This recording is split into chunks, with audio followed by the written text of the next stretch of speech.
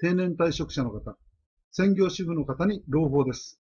定年退職者、専業主婦専用、YouTube で着実に稼ぐ方法が完成しました。パソコンの方は、白枠内をクリック、スマホの方は、動画下の説明欄から見れます。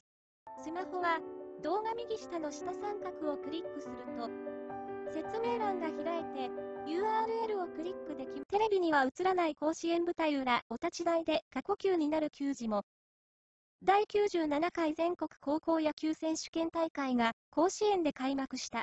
今大会は高校野球が始まって100年の節目の年、テレビではわからないちょっとした舞台裏を紹介する。試合前取材。報道陣の間ではこう呼ばれる特別な時間がある。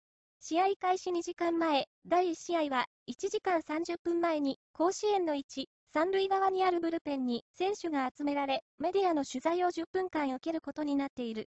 テレビの放送用に意気込みを聞いたり、投手の持ち球を確認したり、注目選手の周りには、多い時は20人程度の記者が囲むこともある。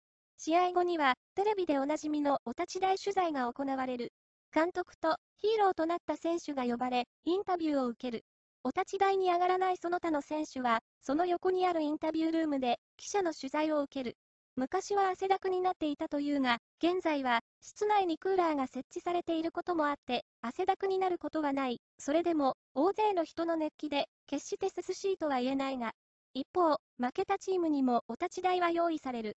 ここにも監督プラス選手が呼ばれる。高校野球が終わった球児は、おえつ、おえつで喋ることができない選手もいる。過呼吸で運ばれた選手もいたほどだ。